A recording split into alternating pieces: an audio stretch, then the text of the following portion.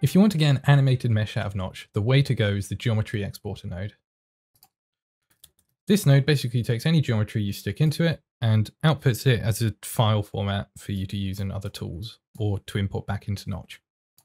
So I've got the node here. All I need to do is connect it to the root node, then take the output of my procedural meshing node and connect it to the exporter geometry geometry input.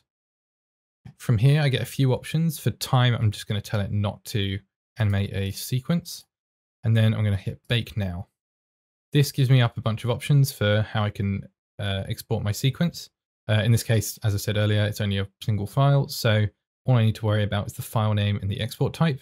Uh, I want it to be an OBJ and I want to make sure that the file is going to my desktop and I'm just going to replace this file here.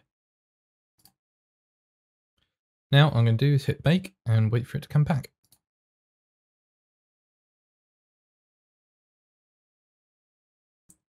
Right, now we can see it's finished. I can re-import that mesh back into the scene.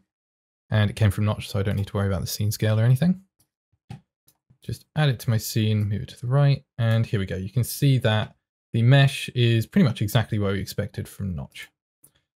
Now, one bonus tip, uh, procedural meshing is actually deceptively efficient. In this scene, there's actually over 170,000 uh, polygons, which is fine for one mesh, but if you're animating an, uh, if you're exporting an animated sequence, well, you may want to put the kettle on.